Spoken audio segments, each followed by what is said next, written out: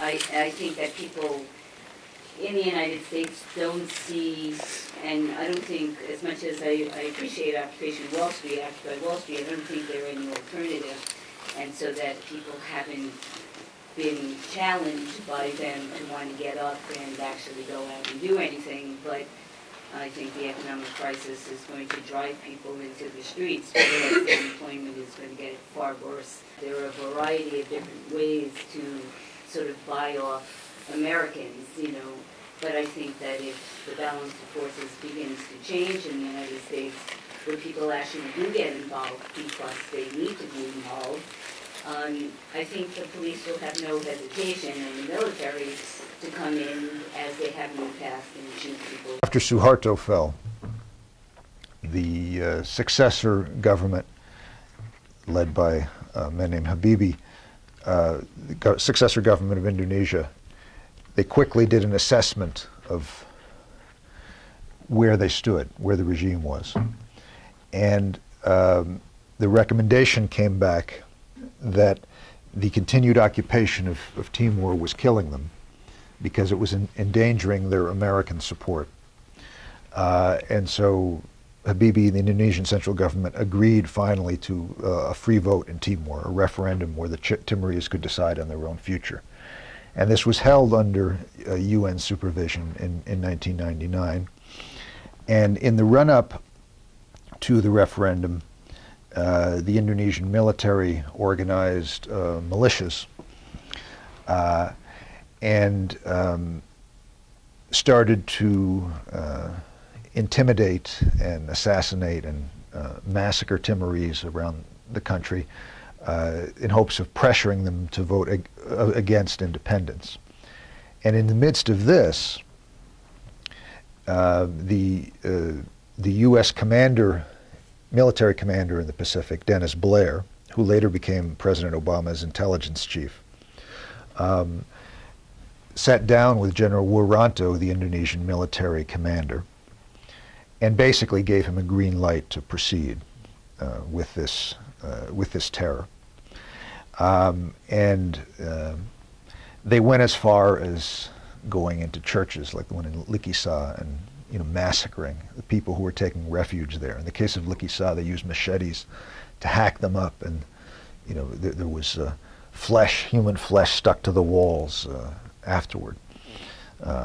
Uh, in the direct aftermath of uh, General, uh, Admiral Blair's uh, recommendation. And while this was happening, the the armed Timorese rebels, commanded by Xanana Gusmao, who you referred to, um, they had agreed to um, uh, go into a, a cantonment area, uh, which is probably what you're referring to, under UN supervision, uh, where, where, they were there. And Xanana uh, and the others made the decision to uh, hold back uh, as these massacres in the run up to the election were occurring. And uh, I, I, talked to Xanana about this, uh, you know, right afterward, and he said it was a very bitter decision. Uh, and there was a little bit of dissent. There were a couple of, of, people in the rebel movement who objected to it, but overwhelmingly they supported uh, that decision. The, the, the, consensus of the, of the fighters and also of the Timorese population uh, was that they were doing the right thing by holding back because they knew they, they could see the victory within sight. They knew that if they could hold off until uh, election day and the vote, which they knew they were going to win uh, in a landslide, that the political forces uh, would be such that that would be the, the end of the occupation. And that's exactly how it worked out. Um, and you know the belief of the Timorese and, and, the fighters was that that was the right decision, and also they, they didn't have the capacity to to, to stop those uh, massacres. You know they had been fighting this Indonesian army for decades. They they had never been able to stop these massacres, so they made absolutely the right decision there, um, in the opinion of the Timorese and and also in, in my opinion. Um, but in terms of the U.S., I don't think that that the U.S. can turn back the clock um, in terms of repression and go back to uh, you know the old assass- assassinations of the uh, uh, of the 70s or the the massacres of the labor organizers of the turn of the century or the, the early part of the, the 20th century, if they tried to pull that today, uh, if they tried to get get the American cops out to you know to gun down demonstrators in mass, I think a lot of those cops would would rebel. They they would not take the order. Uh, all hell would break loose. Uh, it would be the breakdown of uh, of authority in the uh, you know in in the American security apparatus. They just uh, I they can't get away with that now. It's it's a different world we're in, and also uh, in terms of violence, the, you, mentioned you know American workers arming themselves. Uh, I think that would be insane. Um, uh, if any American workers attempted to arm themselves for political purposes, and the last time that was really seriously talked about was by the Black Panthers in the uh, in the 70s, and they were some of those who were assassinated. Um, uh, they would be overwhelmingly repudiated by the American population, and it would be a massive victory uh, for you know uh, the, the, American rich and uh, you know the the establishment. Um, in other countries, it's, it's different. It's a different situation. For example, in Egypt and Tunisia, although the coverage here downplayed it, um, I think the the brief use of, of violence by the, the people who were doing the uprising was essential to the success of those uprisings. Because a few days and a few weeks into those, they went and stormed the secret police headquarters. And they, you know, they burned them to the ground, and uh, the secret policemen uh, fled. Uh, and, and uh, uh, these were crucial moments that, that en enabled uh, these uprisings to succeed. Conversely, in Honduras, when there was a very strong movement, um, uh, a, a, massive grassroots protest movement, which persists to this day in Honduras, uh, that was uh, triggered by the uh, basically the coup that was de facto supported by the U.S. government, in which the democratically elected President Zelaya, an oligarch who kind of turned against the oligarchy in, in limited ways. You know, he was ousted, and the people tried to rally in his defense. Um, people came out to try to stop that coup, to try to turn it back, uh, and they didn't succeed in the end. And uh, one incident that happened in the midst of that movement, which uh, was a few months ago, a, a, guy who was very involved in it told me this story. Um, they were considering uh, trying to storm, trying to arm themselves and storm some of the, the military and police posts and, and confront the, the Honduran military. And given the conditions on the ground there, they really thought that that might work, uh, that that might move the uprising forward uh, kind of in the same way that it, uh, similar actions did in Tunisia and, and Egypt uh, and elsewhere. But they went to Zelaya, uh, who at that time was, had already been ousted, but he was still the head. They recognized their movement was structured in a way that they recognized him as their head. Uh, and they had that kind of system of accountability, they went to Zelaya and they essentially asked his permission. Uh, and Zelaya responded, well, I see what you mean, uh, but I'm sorry I can't uh, uh agree to this because of you know the possible repercussions. Uh, and it was a case where kind of the usual um, uh, platitudes, uh, the, the, usual bromides we have about what is good in politics and organization were kind of turned on their head. Because in that case, uh, it was precisely the, um, uh, the presence of accountability. Uh, the, because Zelaya knew that he would be held accountable if people took up arms, led to a decision which probably hurt that uprising. Whereas in Egypt and Tunisia, because the, these were kind of mass flowing crowds, nobody exactly knew what was going on. There was a lack of accountability of the people. There was also a lack of transparency. You know, we all talk about transparency, but in that case, nobody knew who was doing what.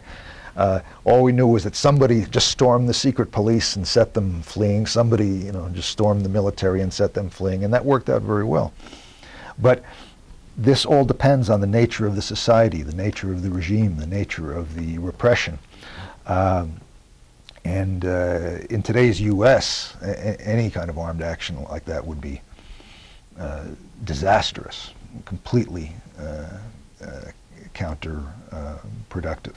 Uh, I think in, in today's U.S., um, the kind of courageous mass actions that are not um, in themselves violent, but that are forceful, that involve you know people going in and uh, moving into forbidden areas and putting their bodies on the line, and maybe in some cases, you know, breaking up some property if it's uh, necessary. Those kinds of actions can win support of the majority of the population, as you know, a lot of these actions already have, uh, and therefore can succeed. I, I, think there's tremendous potential there, but the arms stuff would be nuts. The image of several, you know, I think a half million people in Washington, and then scaling the fence on the White House, and that not evoking a very strong response, I think is extremely unrealistic. Uh, not because it can't happen, but because there's no yet public legitimacy for that. I felt like you collapsed 10,000 stages. The public is not yet ready for an assault on the White House. I will certainly not see it as legitimate. We're way, way off. There's a long time in the future before that kind of assault will be seen as legitimate uh, by a majority of the American people. Uh, so I thought that scenario, this is a crucial point of any politics, which is you have to have a clear sense of where the public is at, what they're ready to accept, what they consider is legitimate, and what they consider is illegitimate. Uh, uh, that's just an observation. Now I'm going to ask a very boring brass tacks, tacks question because it's something that more and more I'm trying to make sense of. Uh, namely, the experience that you had, which is in one respect very encouraging, how a small handful of people can have a very large impact on U.S. foreign policy. Uh, you use the figure of pretty small numbers. You then use the figure of 10,000, which is actually a very large number, in my opinion. But I assume when you're saying 10,000, you're including everybody on the web who sends an email. That's what you mean by 10,000. You're not meaning 10,000 activists. No, no, that's a huge number. The, the largest demonstration I think ETAN has ever involved is um, 300. Yeah, 300. That's and still a small handful of people can exert a huge impact and have saved many lives. And so the question of East Timor, which has always puzzled me, is how applicable the experience of your little group is to other issues on the uh, political agenda. So you take the obvious case, Israel begins the occupation of the uh, West Bank and Gaza, and East Jerusalem in 67, Timor 74, roughly the same period of time.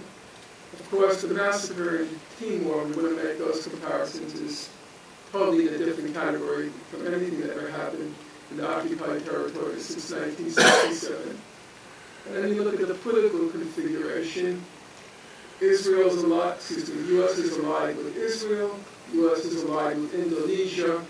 In both cases, countries carry out occupations, and in both cases, the U.S. has no real stake in the occupation. The U.S. doesn't really care if Indonesia is occupying Timor or not. It's not a major issue for them. And in my opinion, same thing, Israel, U.S. has no real stake in Israel occupying the West Gaza. If tomorrow Israel left, it'd be like tomorrow, yesterday, Indonesia leaving Timor. There were no big tears in Washington, quite the contrary. So at the big level, the macro level, they seem similar. So now, where does the analogy collapse, if it does? And why does it collapse? Now, what's applicable from your experience and what is just unique to this strange constellation of political power for East Timor, U.S. and? Strong actions have to be backed by a large portion of the population. Being a leader means uh, taking uh, the lead, and for a group, you know, uh, can leap out front and then take people with them, but you have to have a reasonable expectation that you will bring people with you. Um, the image of going over the White House fence is not something that you know would make sense uh, this month, but I would not be stunned if uh, it might make sense within the coming year. In 1968, it almost came to that. If you go back and read the uh, accounts of the, the Nixon White House, uh, there were moments when the, uh, the anti-war demonstrators were right outside the gates and were besieging the place, and the, uh, the, white, the Nixon White House people were physically in a, in a panic. And they were fearing precisely that, that, that people might come over that uh, fence. And you know that anti-war movement did not have majority uh, support yet at that moment, but it had big support. And also, if you look at the polls, uh, there, there, were some remarkable Gallup polls and Harris polls of, from that time of American business leaders and so on. And majorities of uh, American business and opinion leaders actually feared revolution in the, United States. They that, at that moment, I mean, it seems inconceivable now, but this this was real. This the, they felt that this might be on the verge of happening at uh, at any moment in the U.S. Um, and that was because that happened to be one of those historical moments where, for various reasons, uh, events accelerate. Uh, and we may be, and maybe not, you know, maybe this spring will be dead, but I don't think so. We, we may be on the, uh, the brink, if we make it so, one of those moments where uh, things really do accelerate and happen very quickly, and where it may be conceivable that there is as much uh, uh of a constituency for, or, or more of a constituency for you know, really strong mass action as there was in uh, in '68. That now on the the other point of uh, you know the Timor, the successful Timor activism lobby model and how it applies to other things. Um, uh, I think generally you could say that it applies to the whole list of countries that are um, below the radar of, of the big corporate press that are not in the, the news on a, on a daily uh, basis. So, you know, if you actually got out the uh, uh, defense uh, appropriations bill and the foreign operations uh, appropriations bill and made an inventory of all the repressive regimes that were uh, receiving weapons and training and what they call economic support funds from the from Washington you'd have a list of about 35 or 40 uh, regimes, most of them completely unknown uh, to the American uh, public. And an effort of the type that was mounted on Timor, I think, could be, you know, similarly applied to in, in each of those cases, uh, maybe with, some success. And John mentioned a very important point, and that is that when you get down to the reality of doing politics in, uh, in Congress, the, the picture that we get from the, the media coverage and from the education we get in the schools has very little relevance. Uh, Democrat, Republican, liberal, conservative, uh, those categories don't necessarily mean what you think they do when you really look at the details of particular uh, cases, um, you'll find surprising enemies uh, and surprising uh, allies. I mean, uh, there were uh, liberal Democrats who were some of the, the fiercest supporters of U.S. backing for the, you know, for the Indonesian military, and there were conservative Republicans who, for various complex reasons, were uh, were opponents. There's there's the the coverage of what actually of how decisions are actually made in Washington is horrible. I mean, even if you read like the insider political press, like you know Politico, this uh, you know the online uh, Journal of Politics in Washington. You can read that every day, and you still wouldn't have a clue of how things are actually uh, done in uh, uh, in Congress in, in Washington. And there's some complexity to it. And yes, as, as you'd expect, uh, a fair amount of it is about money. Um, but a lot of it is not about money. In the case of Timor, we had zero money. And I mean zero money when, uh, when, uh, when we started. I mean, there were a number of occasions uh, where um, uh, we're negotiating with people in congressional offices about trying to get a certain amendment or reworded or trying to get a rider put on a bill and uh, had to send a fax. Well, the fax machine still existed back then. Had to send a fax down to the offices in question because it was too expensive to take the train down to uh, to Washington. Uh, a couple of years later, we were able to establish a Washington office with, you know, with with one uh, uh with one person but this was a, an absolute shoestring operation, and it was done in opposition first to the Bush administration, the Bush senior administration, then the Clinton administration, and at various points along the way to paid lobbyists who were hired by the Indonesian government, who never really did anything, but they, they spread they spread around some money. Um, and it was able to succeed in part because, uh, you know, it's it's hard to run the world. For the U.S. government, it's very complex to run the world. You've got 190 countries to deal with. In a congressional office, you are so busy. You have so many issues. You have th- literally thousands of issues to consider. You've got all the domestic issues, all the economic issues, the, the, the, foreign policy issues, and you couldn't even name. I mean, what person can name every country in the world? Nobody can.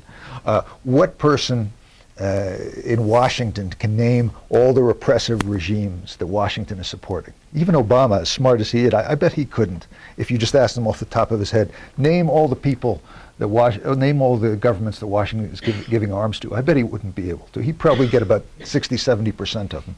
Uh, when you're dealing with such a, a vast uh, machine, this gives uh, all sorts of openings. So we could go into congressional offices and give them a whole presentation about this, these horrible massacres of, uh, uh, of civilians, uh, about how uh, this delivers zero benefits uh, to the average uh, American, how by stopping the arming of these of these killers, it's not going to hurt anyone here in, uh, in the United States. And the basic reaction of a lot of them is, oh, okay. Uh, they'd never really heard of Timor before, even though they are policymakers, because as I said, it's a very long list of, uh, of countries. When, when you're running the world, there are only there are a few specialists in the Pentagon and the State Department who work on, on each country. Uh, and that's what a lot of the interactions consisted of. Oh, there's East Timor. Okay, uh, I wasn't really aware of that, but tell me about it. We're doing these things. Oh, okay. Sometimes there is resistance because the administration would come in and lobby uh, uh, on the other side. Uh, but then, you know, you counteract uh, what they say with uh, with well-documented facts. You get a few people in the congressional district to weigh in. So the office has, you know, 20 people from the district that are saying cut off the arms, and nobody from the district who's saying continue the arms. Uh, and, you know, step by step. But in terms of like hardcore, you know, ongoing activists, it was never more than a few hundred yeah. at, at maximum. You know, a, a, few hundred, a few dozen in, in an ongoing way. With just a force of that kind, uh, it was possible over time to uh, to fight arcane congressional battles and, and win them. And you could probably do that in several dozen other cases. Israel Palestine is different because Israel Palestine uh, is, is, uh, is at near the top of the U.S. political agenda. Uh, and it's massively covered by the press. And that has both pros uh, and, uh, uh, and cons. Um, I think a, a lot could be accomplished by setting up a, uh, uh, a grassroots uh, activist and lobbying uh, effort that uh, brought some accurate facts to to to members of Congress. You're up against a very powerful lobby, as, as, did not exist in the case of Indonesia and, and, Timor. But now that lobby runs free. You know, AIPAC and their associates, they have they have free rein of Congress. There is almost there is almost nothing on the on the other side. Um, the constituencies that are active at the uh, the district level are um, uh, overwhelmingly giving the, you know, uh, uh pro-Israel, pro-IDF uh, uh, line. it's almost unopposed. Um, but if you mounted a, an effort on on the other side, I, I, think there's a fair amount that could be accomplished. I don't think you could reverse U.S. policy, as was done in the case of Indonesia and Timor, but you might well be able to uh, to modify it, to uh, uh, to constrain it, um, and there's real potential in the fact that this is something that's in the press spotlight. Uh, there was no press on the you know the, the, the battle on, on Indonesia Timor. Uh, if you actually got something like, like that going on Israel uh, Palestine, you could really get some attention, and who knows where it would lead. I'll just add before I get to you, Mitch. Um, the utter incompetence of the Indonesian lobbying effort, I just we can't take credit for, shouldn't be underestimated, particularly because they're now much more sophisticated. I, I actually occasionally talk to the Indonesian ambassador to the U.S. They never would, you know, basically just send their lackeys out to photograph us as we protested in the past. But they would, they were so, they took U.S. support so much for granted, they didn't work, need to work that hard to uh, prop it up. They got what they wanted and needed without really having to ask much, um, you know, until 1991, 92. And, um, you know, and the, so they, their uh, interaction with Congress, from what I could tell, was just a few key uh, committee and subcommittee heads, and actually in many ways the wrong committee, which was the uh, Foreign Affairs, Foreign Relations committees, and not the Appropriations committees, where we focused our effort. And you know, Allan mentioned 20 calls. It often was two or three calls. Yeah. They would get from a district, and you know, and because it was such a low-profile issue, and it's very puzzling. You know, Indonesia is very large, as we now know, uh, very strategic to the U.S., which is, I think, even true, you know, as true then as it is now. And, uh, you know, that it could be so under the, the, radar. You know, how little offices knew about Indonesia outside of the handful. And then the ones that became our staunchest allies, you know, who were relatively new in Congress, you know, uh, the Nita Loweys, and, you know, some of these are terrible on other issues, or uh, Patrick Kennedy, um, you know, because we, we got the, Russell Feingold. You know, they were talked to, you know, as, you know, in the early stages, in essence, of their careers in Congress, and then, you know, kind of moved up the food chain of seniority, and, you know, and we're able to do a lot of that in, insider um, dealing. But we also had a model, which I'm surprised Allan didn't mention because he helped create it, that we looked to when we got our first victories, which was Guatemala, which I think was the first country to get its IMET cut off.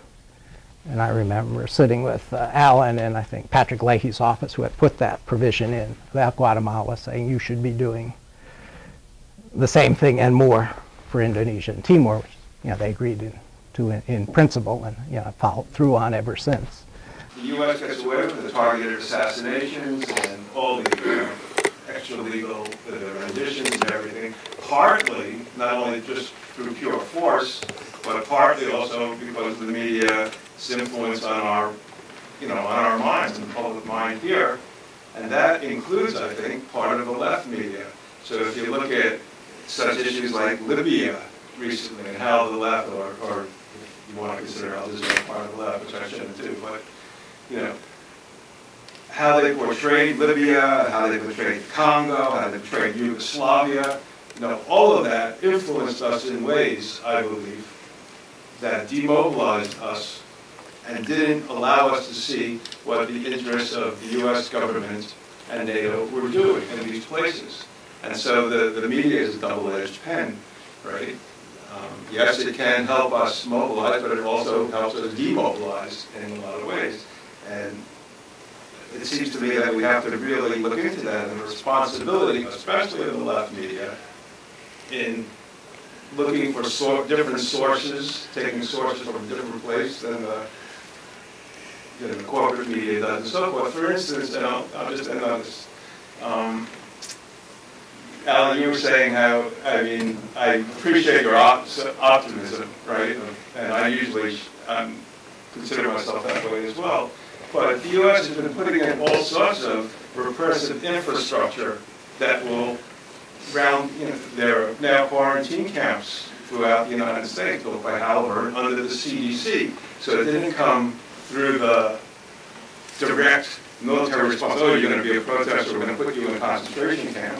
But it comes through a different guise, through the health, the health guys, or the, uh, or it attacks its own citizens, but just blames it on so-called terrorists or foreign terrorists.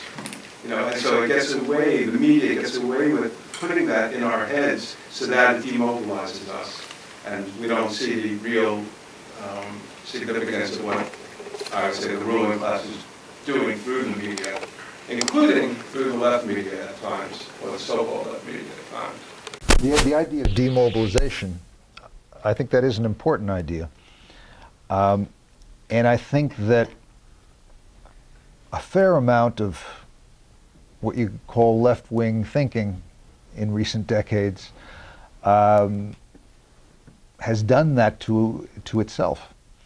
Uh, this idea, the, it's very easy, you know, it, it kind of goes in parallel to the, there was this big trend in the academic world, the Western American academic world, in these recent decades of uh, you know postmodernism and post this and post that, and one of their basic concepts was that power is everywhere.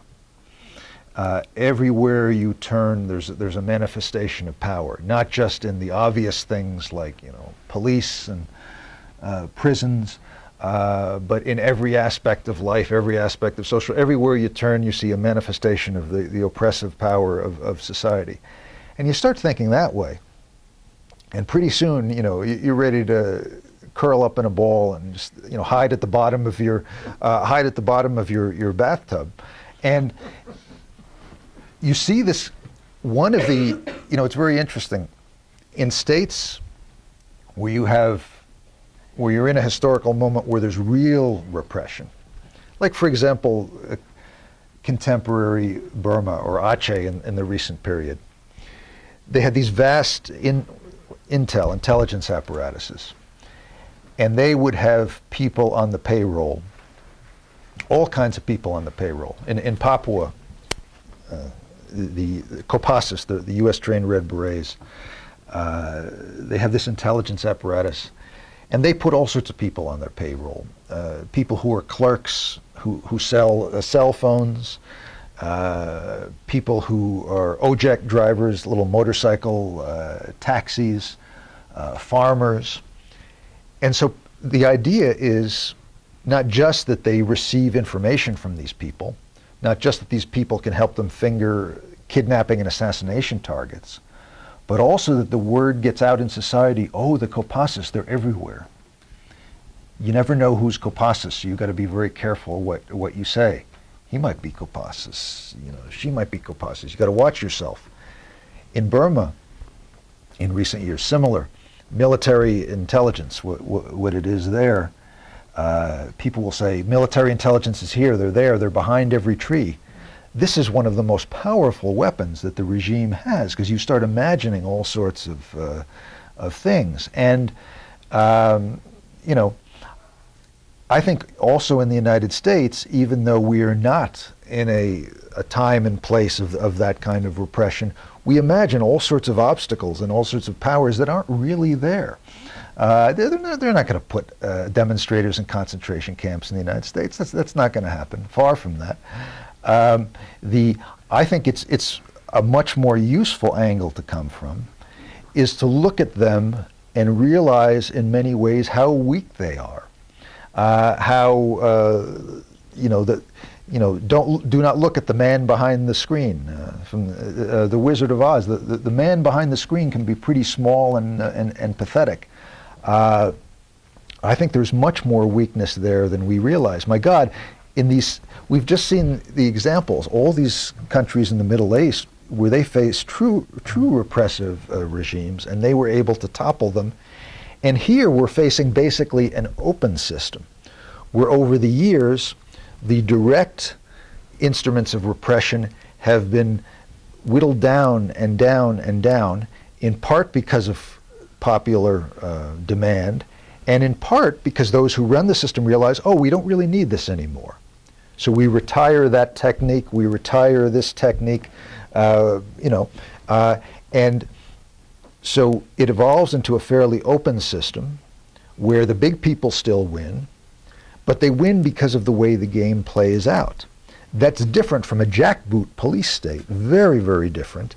And it means uh, that there's a lot more space uh, for uh, taking protests to some, uh, you know, s- some amazing limits, some amazing uh, places. And I, I think we have a very, very open field in the United States, and we have to realize uh, how open it is now. I, th- I think that's uh, the key uh, concept at the moment. I really disagree. I mean, we have the drug, uh, the drug wars in which millions of people are in prison. Um, They just aren't doing it saying, you're a demonstrator, go to jail. They'll do it through other definitions, you know. Oh, it's, you know, it's very, it's, it's certainly very complex because. In some respects, you know, the U.S. Uh, uh, is one of the more repressive systems in the world. You have one roughly one percent of the population uh, in prison. Uh, you know, in excess of two percent of the African American population in prison. In terms of executions, uh, the U.S. ranks with uh, China uh, and Saudi Arabia.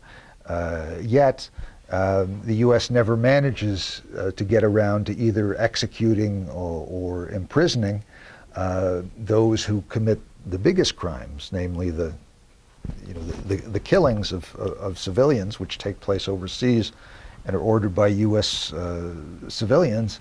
That's all true, but at the same time, outside and, and the, the recent you know post 9/11 uh, uh, you know uses of, of arbitrary powers to, to kidnap uh, uh, you know anyone they want to and charge them with uh, with terrorism. But all that said surrounding that surrounding those prisons are vast open fields where people can run wild uh, politically if they choose uh, to do so, and we ought to choose to do so. So, so West a place that has come up a lot tonight, one of the things I've learned is uh, about the strategic utility of both those tactical engagements that you were talking about, but also the power of, of imagination. And um, you know, one of the things that you talked about, this storming of the White House, is maybe a distant dream.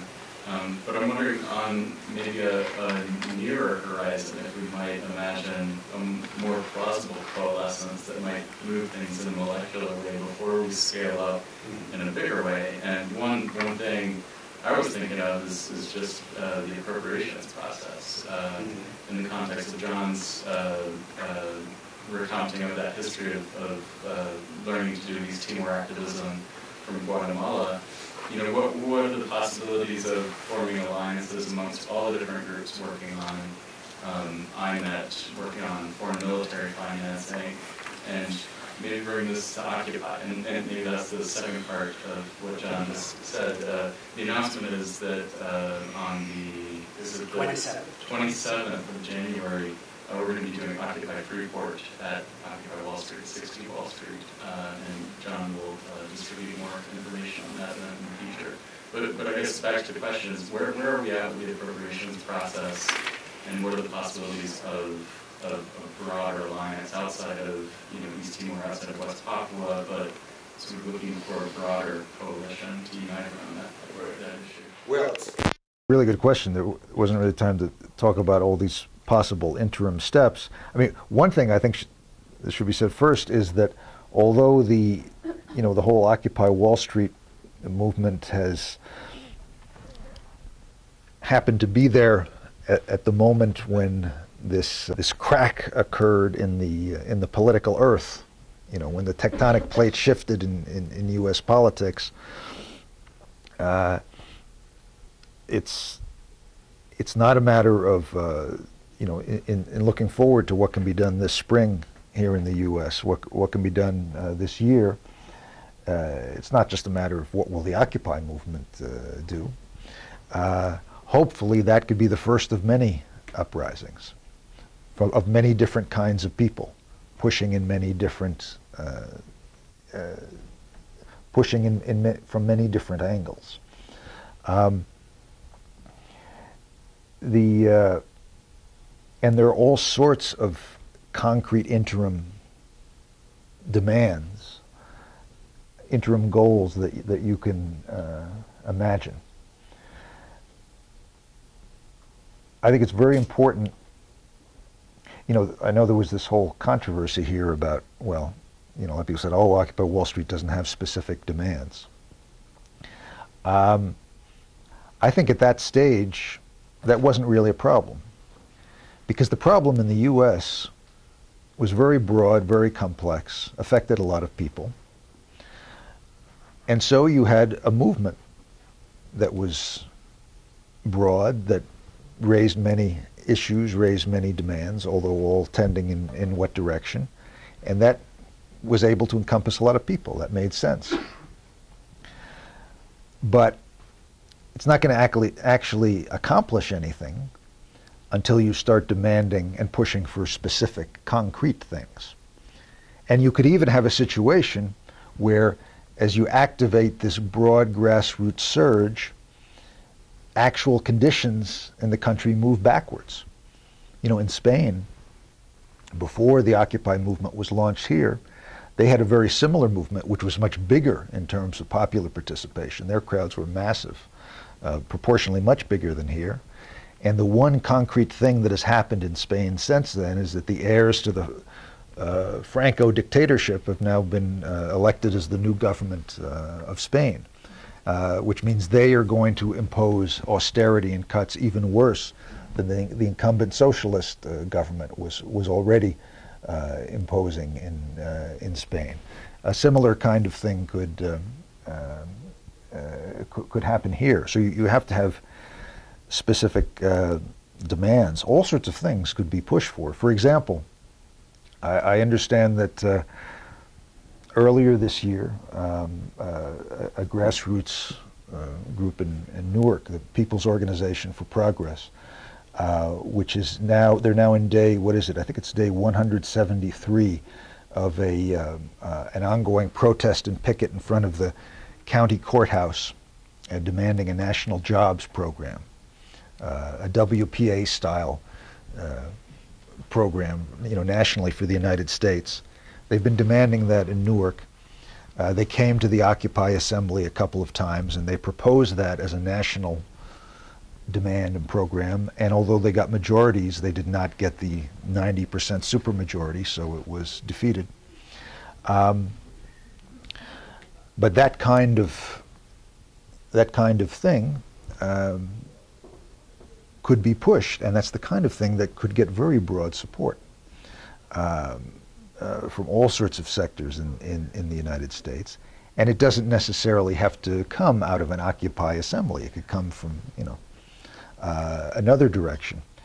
In terms of U.S. support for foreign uh, repression, and what you were asking about specifically with the appropriations process, um, you know, a group of people could just start. This would be a very useful exercise.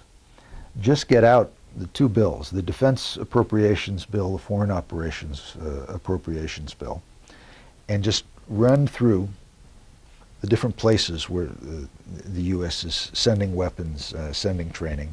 You'd also have to do some research for, for the covert programs, but many of them are not really covert. They, they appear at one time or another in, in the press. For example, you know, the U.S. is running a massive covert war against Iran.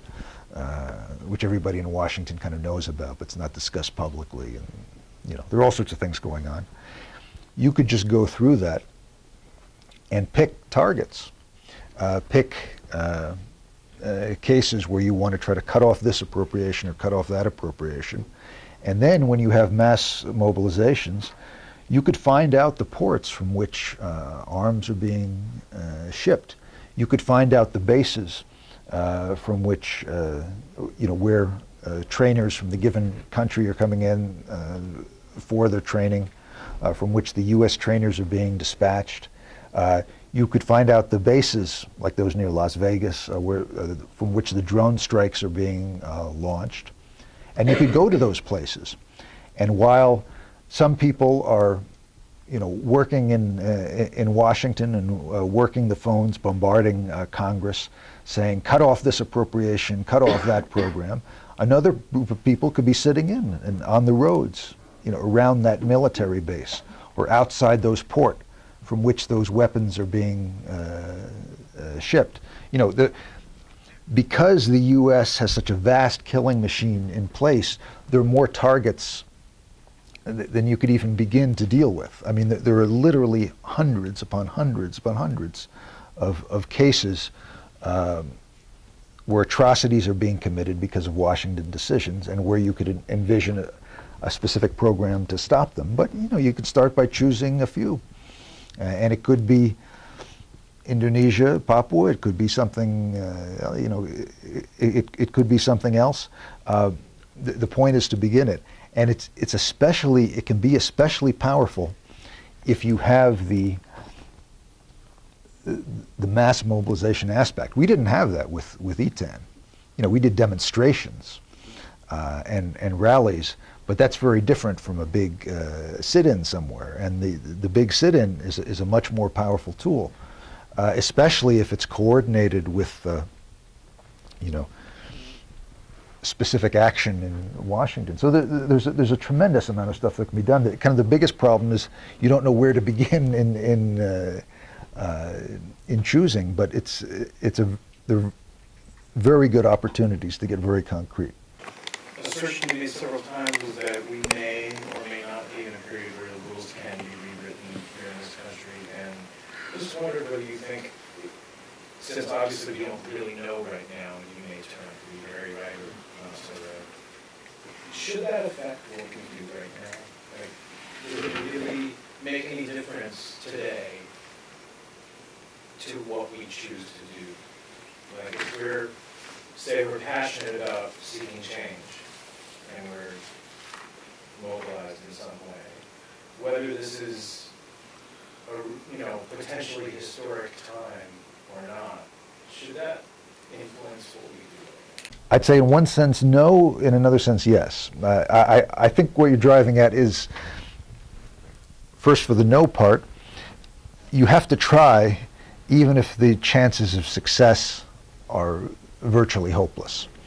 Um, you know, and if you think about some examples that becomes intuitively uh, obvious. You know, if uh, if someone breaks into your house and they're wielding a gun and they're about to shoot down your family, well, of course you should throw yourself in front of the gun, even though odds are you're going to die, uh, and your family's going to die too. But you should do that anyway. Uh, you, uh, you, must uh, try, uh, and you should always try, even if the, the prospects of success are absolutely minimal. That's one point. But another point is that in a sense, an analogy like, uh, an image like that is kind of misleading because politics are more complex than that. And often in politics, uh, you don't really know what's going to result from your action. I mean, I doubt very much uh, that that man in Tunisia who set himself uh, on fire uh, because he was abused by the security forces when trying to sell his wares.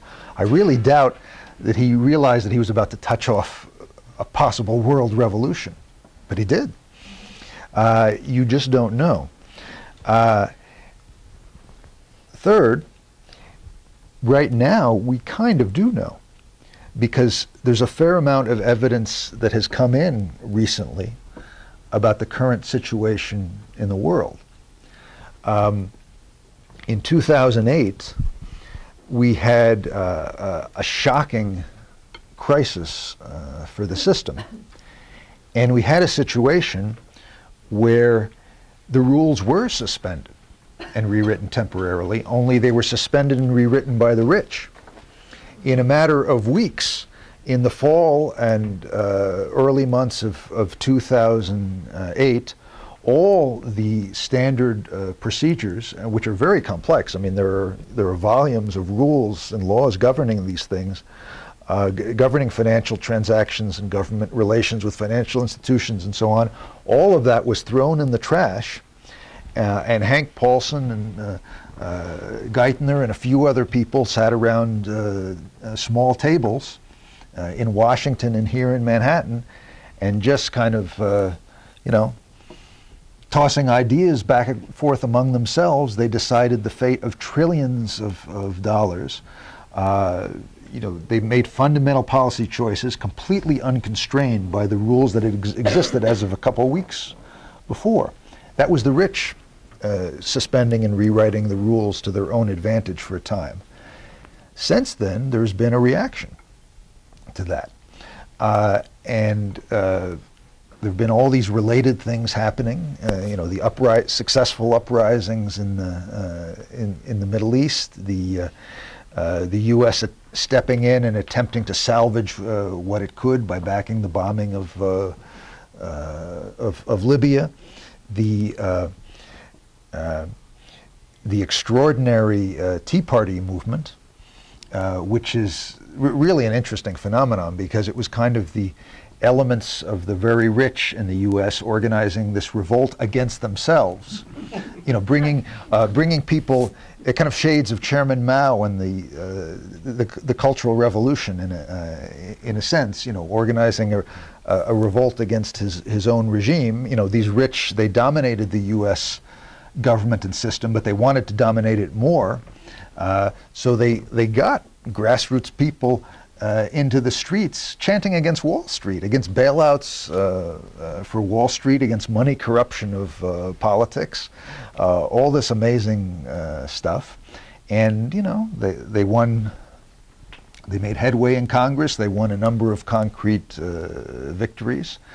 Um, but now, but then there's the, a reaction from the non-rich in the U.S. in the Occupy Wall Street movement. And all this together suggests that maybe it is possible to rewrite some rules now. Maybe that kind of momentary power, and it's always momentary. You know, those moments often don't last more than months or even weeks or even days sometimes. But that kind of thing may be in reach. There's rational reason to think that. So, you know, to wrap it up, even though when it's totally futile, you should try, you should especially try when it looks like you have a chance at massive uh, victory that could potentially save uh, millions of, of lives, that could change the economic uh, circumstances of lots of uh, people here in the U.S., that can put food in the mouths of people who otherwise would die. That's, that's even more uh, reason to, uh, to do so. Um, so yeah, I think it does matter. Henry Kissinger has been quite active in this past year, flogging his book on China, and for some reason appearing as a guest speaker at all kinds of charity fundraisers around the country, I've noticed. He, of course, uh, on December 6th, the day before the U.S., uh, excuse me, Indonesia invaded East Timor, uh, gave the go-ahead with uh, President uh, Ford to Suharto saying, don't worry about your weapons and your U.S. military training. We'll find a way around U.S. law. That was the specific concern Suharto had and brought to the U.S., uh, which of course uh, Ford and his successors, Carter uh, and others, you know, did up until 1999 and up until the cutoffs began in the 1990s. I think we've had four demonstrations, supported a couple others around the country. We'll continue to highlight the U.S. Uh, responsibility and culpability in the oppression of East Timor. uh, in the support of Suharto.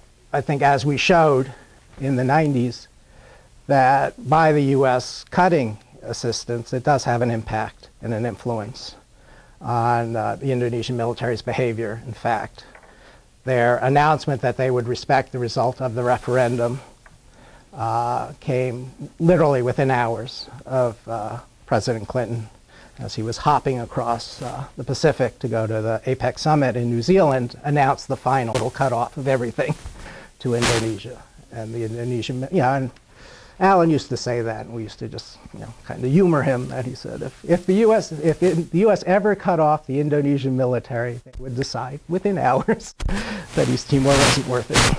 That you know, they'd rather have the U.S.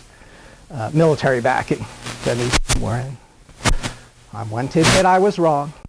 It has uh, some oil wealth, uh, certainly enough to, to stay in tune with its ability to spend as a fairly new government, but has decided, and I think after much convincing by international institutions like the Asia Development Bank and the World Bank, that it, should, it should borrow money that interest rates are so low. Yeah. Um, so that they, we have, uh, over the past year with East Timorese, and actually with other groups in the, particularly in the Southeast Asia region, who know very well what borrowing has meant to countries like the Philippines, Indonesia, uh, Thailand, um, you know, campaigned against that. And even though the decision has made, it's a relatively uh, small amount of money, certainly in the international scheme of things. I think it's like 80 million was put in the last budget, and uh, including a couple of uh, members of parliament, said, threw in, said, you know, we need a road. So uh, Charlie Scheiner wrote, you know, kind of learning uh, the U.S. Uh, art of uh, earmarking. said, why don't we earmark another $10 million loan so we can get our road? Um, so they've budgeted 80 million, and uh, you know, I, you know, we'll continue to be working with, with groups and people in East Timor to uh, prevent additional borrowing if we can, and, at least help educate.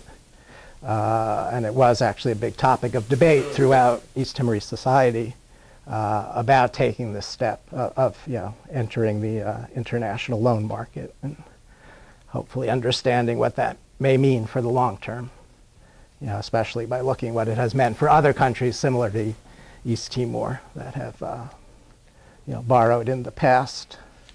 Um, and then the other thing we're hoping to do is um, ETAN has had monitors at every East Timor election since the referendum, including the referendum. Some have been fairly large projects, like for the referendum and like for the elections five years ago. And there are actually three people in this room that were uh, with the ETAN project observing uh, East Timor's uh, presidential and parliamentary elections uh, five years ago. They're having elections again this year, and we're hoping to ha again have election monitors in East Timor, and it's something the East Timorese uh, want from us um, and want and know that you know, when we monitor elections, uh, you know, we're not just looking at, at election day, though that's part of it, but uh, you know, looking at the whole election process, um, and uh, particularly looking at the aftermath because um, uh, it may be exaggerated, but and there was some violence after the election five years ago. There certainly was major violence after the referendum in 1999. Um, but that, that folks will be there to help to, to uh, monitor the whole process and monitor its implement, implementation when there's a new parliament uh, following the elections. Um, I will uh, leave it at that. Um, Al and I were together in East Timor in September 1999, uh, staying at the same house in the last days before I left. Um, Allan chose to remain. ETAN does a lot with very little resources, which I think is true, but we, would rather do a lot with more resources, particularly in this anniversary year.